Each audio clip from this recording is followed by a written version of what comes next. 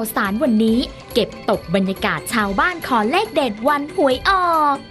จากนั้นพบกับลูกวัลลบี้เผือก สมาชิกตัวที่ 3 เชียงใหม่ไนท์ซาฟารี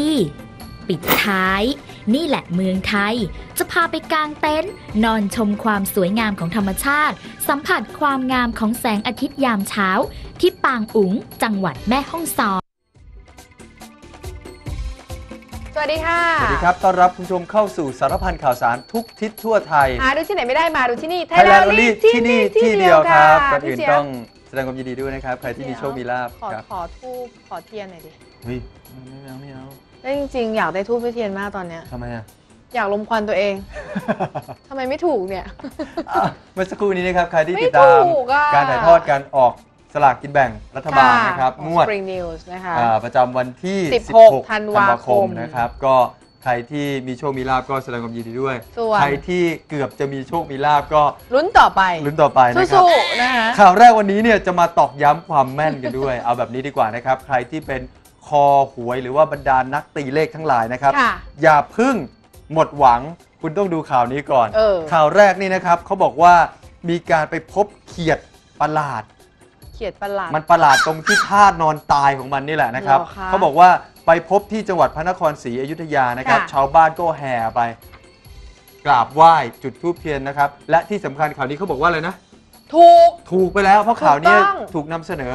เป็นเหตุการณ์ก่อนหน้านี้ คือจริงๆ เนี่ยเกิดขึ้นที่จังหวัดพระนครศรีอยุธยาครับใช่ไหมคะ ล่าสุดทางด้านผู้สื่อข่าวของเราที่ไปทำข่าว ก็ตีเลขกันไปไปด้วยไง ปรากฏถูกนะคะ ตรงๆเลยทีเดียวอ่านะเลขคะ อะไรเลขอะไร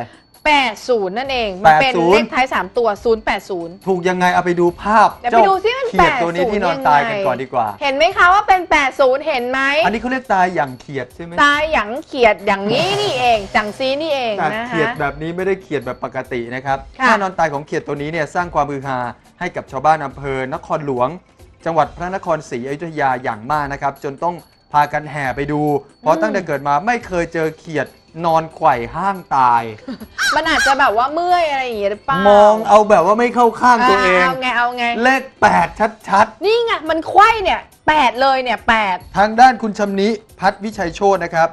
ผู้พบซากเขียดตายเนี่ยได้ทำการจุดธูปไหว้ ค่ะพร้อมนำซากเขียดเนี่ยไปใส่พานเพื่อบูชาขอโชคขอลาบนะครับ บอกเล่าให้ฟังนะครับ เมื่อ 3 วันก่อน อืมได้ไปเก็บของที่บริเวณริมรั้วบ้านนะครับ เห็นเขียด รูปร่างประหลาดนอนตายอยู่บนโต๊ะ สภาพแบบเนี้ย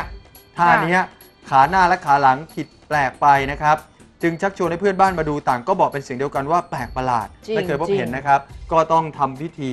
ตีเลข นี่ไงคะแล้วเขาก็เลยตีมามันมีหลายเลขนะ 08 คือ 0 8ซีอะ8ซี0ซีซีก็คือตาย เออ0อย่างนี้ก็ 80 แต่บางคนบอก 84 แต่ 84 เนี่ยไม่มีในสารระบบได้ 80 ไปเออนะคะก็ถูกกันไป อันนี้ก็ ไม่เขาเรียใช่กอะไรนะ ไม่ใช่งมงายนะ ไม่ได้แต่ว่างมงาย เป็นความเชื่อ เออ แล้วก็อย่างหนึ่งหลายคนก็บอกแหมพอมันถูกก็ตีอะไรก็ได้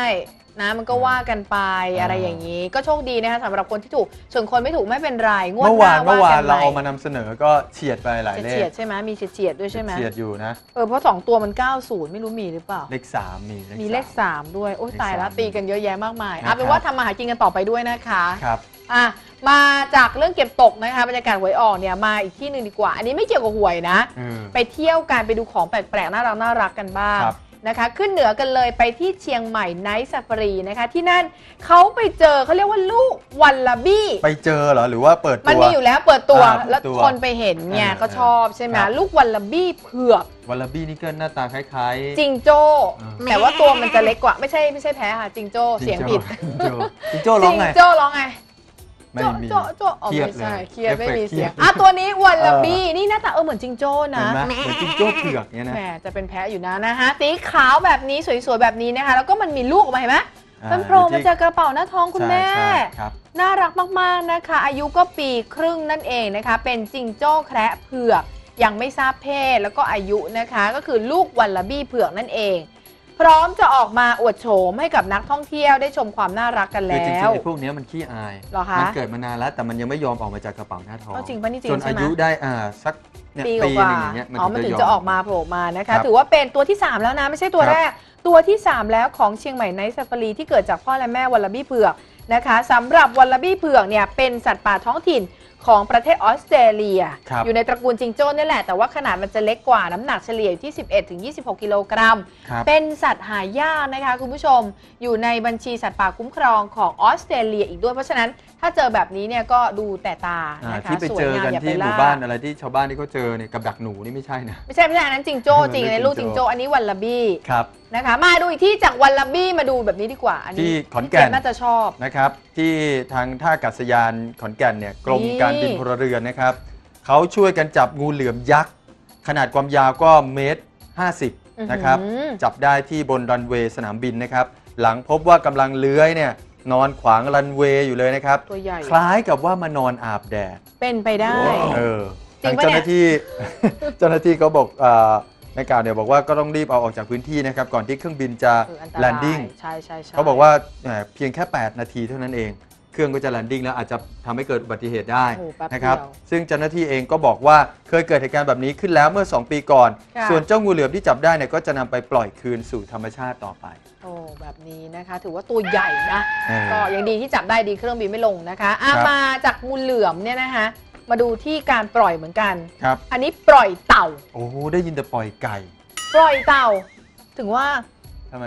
กลิ่นเหม็นๆพี่ปล่อยเต่าใช่ไหม อาจจะไม่ใช่กินพี่อ๋อแต่อาจจะไม่ใช่กิเหรนอเสื้อ อ๋อ เสื้อใหม่ อันนี้เป็นเต่าจริงๆ เต่าครับสีขาวคุณผู้ชมไปดูเขามีกิจกรรมที่กระบี่นะคะ คลานแบบเต่าคืนความสุขให้ประชาชนนั่นเองอะเดี๋ยวไปดูกันคลานแบบนะเต่าคลานไปดูสิแบบเต่าคืออะไร อูเริ่มคลานกันแล้วค่ะ อ๋อไม่ใช่ยังๆอ๋อนี่เขาปล่อยนนี้เขาปปล่ล่ออยยเต่าทะเลนะครับ เต่าทะเล สังเกตเต่าทะเลกับเต่าบกเนี่ยมันจะต่างกันต่างยังไงตรงตรงตรงเท้ามันเนี่ยทำไมคะ ครีบ ถ้าเต่าบกเนี่ยมันจะไม่มีครีบแบบนี้อ๋อถ้าเต่าทะเลจะมีเหรอ ใช่ใช่ อ๋อ นี่ความรู้เลยนะฮะ ก็เป็นกองทัพเรือภาคที่ 3 เขาครับ ร่วมกับการไฟฟ้า ฝ่ายผลิตแห่งประเทศไทย แล้วก็อำเภอ เหนือคลองที่กระบี่เนี่ยจัดโครงการคืนความสุขให้ประชาชน ก็ปล่อยเต่าทะเลคืนชายหาดเนี่ยนะคะ 213 ตัวด้วยกัน ถือว่าเป็นการปล่อยเต่าทะเลครั้งใหญ่ที่สุดของจังหวัดกระบี่นะคะ กิจกรรมนี้เป็นการสร้างจิตสำนึก ให้กับนักเรียนประชาชนแล้วก็นักท่องเที่ยวร่วมกันฟื้นฟูอนุรักษ์ทรัพยากรธรรมชาติทางทะเล ให้มีความอุดมสมบูรณ์ต่อไปในอนาคตด้วยนะคะไฮไลท์นี่ครับจริง ๆ เขามีการคลานแบบเต่าเห็นยัง นี่ไม่ได้โกหก บอกว่าคลานแบบเต่านี่ไงเหมือนไหมฮะดูคนนี้สิ หัวทิ่มหัวตำกันไปเลยนะฮะเออนี่กล้องที่วิ่งถ่ายนี่เป็นดอลลี่นะ อย่างดี อย่างดียิงรางไฟฟ้า พูดตรงๆ สะดุดทีเดียวหงายหลัง นี่นะคะเชียร์กัน โอ้โห มันมาก ๆ มีทั้งความสามารถของน้องที่ช่าผู้งภาพชายก็น้องไม่ธรรมผู้ดาหญิงนะ ใช่ ดูคนนี้คนนี้ไหวไหมอัฮะนนี้อาจจะเต่าท้องอยู่ เต่าท้องเหรอ ไปว่าเขาเขาตัวน้ำหนักอาจจะตัวใหญ่หน่อย แล้วต้องช้าๆ แบบนี้แต่ถึงเส้นชัยเหมือนกันนะคะ กติกาง่าย ๆ ค่ะ ก็มีตัวแทนทั้งชายและหญิงเนี่ยเข้าร่วมแข่งขันทีมละ 3 คน วิธีคือพับข้อศอก นะคะแล้วก็ใช้กาวอืมเทปเนี่ยพันที่ข้อศอกให้แน่นด้วยนะ ห้ามกลางออกห้ามกลางออกนอนที่เส้นสตาร์ทเนี่ยพอ5 4 3 2 1ปุ๊บ ก็นับ10 9 8 7 มา เพื่อไม่ต้อง คือสตาร์ทเลย สตาร์ทเลยออกตัวเลยนะคะ ก็ใช้ข้อศอกดันกับพื้นทรายมือเหมือนจะครับง่ายนะ อ่า แต่ไม่ง่ายเพราะก็พื้นทรายด้วย ใช้ศอกเดินอาจจะไม่ค่อยถนัดแถมทรายมันก็หยุ่นด้วย ใช่ เดี๋ยวมันจะดูดลงไปแต่สุดท้ายนะคะ แต่ละคนก็โชว์ฝีไม้ลายมือแบบนี้แหมสนุกนะสร้างอ่า เสียงหัวเราะสีสันได้เป็นอย่างดีเลย อ่าจากเรื่องของการสีสันนะครับ การอนุรักษ์ธรรมชาติด้วยการปล่อยอ่าเต่าเนี่ยนะครับอ่า ต่อกันที่จังหวัดพิษณุโลกกันบ้าง ค่ะมีอะไรคะ ที่นั่นเนี่ยเขาบอกว่ามีการพบ สองพญาหมี คืออะไรอะ มงคลนะครับ นุ่งอืม สโรงนะครับหามลูกนิมิตหยกนะครับ ในงานเปิดอ่าปิดทองฝังลูกนิมิตนะครับ ฉลองพระอุโบสถหลังใหม่ของวัดดงหมีนั่นเองนะครับอำเภอบางกระทุ่มพิษณุโลกแหละนะครับ ซึ่งเจ้าหมีสองตัวนี้นะครับ มีชื่อว่า ชื่ออะไรฮะ พญาหมีมงคล อื้อหือ ความสูง1เมตร80เซนติเมตรนะครับ โดยพระครูสังวราพินันท์นะครับ เจ้าอาวาสบอกว่า ต้องการเพิ่มเอกลักษณ์ความเป็นไทย และความภาคภูมิใจในถิ่นกำเนิดนะครับ ซึ่งเอกลักษณ์ที่โดดเด่นของอุโบสถ วัดดงหมีได้แก่กำแพงแก้วรอบอุโบสถนะครับอืมมีรูปปั้นหมี รอบเสมาธรรมจักร แตกต่างจากศิลปะการสร้างโบสถ์ทั่วไป จะใช้รูปกวางหมอบนะครับรายรอบอุโบสถทั้ง 4 ทิศ นับได้ก็ 176 ตัวด้วยกันหากใครที่อยากไปร่วมทำบุญนะครับ หรือไปเที่ยวกันได้ก็งานจะจัดขึ้น วันที่ 26 ธันวาคมถึง 4 มกราคมปีหน้าครับ วัดนี่คือชื่อวัดดงหมี ใช่ครับเพราะฉะนั้นน่ะเอกลักษณ์เขาก็เป็นจุดขายไงใช่ก็มีหมีใช่ แต่ตอนแรกนึกว่าหมีของจริง 2 ตัวตัวเบลเลอร์เลยโอ้โหนะมันมันคงเจ้าจะต้ว่าองคงเพ่นนะนะ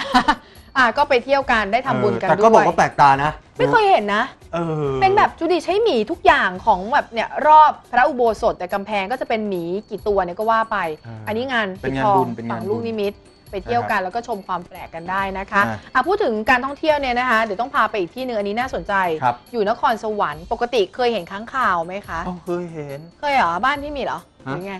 เคยเห็นเห็นในจริงๆอะทีเห็นจริงๆอะโอ้ตัวจริง ๆ ยังไม่เคยเห็นโอ้นี่ไปเห็นมาแล้วนะ ต้องบอกว่าสุดยอดนะครัค้าบงคาวนี่เขาเรียกว่าอะไรนะ นกมีปีกนกไอ้หนูมีปีกมีหูหนูมีปีกเอเอออนะคะ แต่นี่พาไปเดี๋ยวออกจากถ้ำบอกเป็นจำนวนมากเลยนะคะ ที่เห็นช่วงนี้ที่อากาศเป็หนาวเงาดำๆนี่ใช่ไหมๆนี่คือค้างคาวไม่ใช่ควันอะไรทั้งนั้นนะ โอ้โห ออกมาจากถ้ำแบบนี้นะคะ เป็นฝูงค้างคาวที่ตำบลบ้านแดนอำเภอบรรพตพิสัย ไม่ใช่หนังสยองขวัญฮอลลีวูดอะไรนี่ไม่ใช่ อันนี้ของแท้ดูฝรั่ง ฝรั่งโอ้ no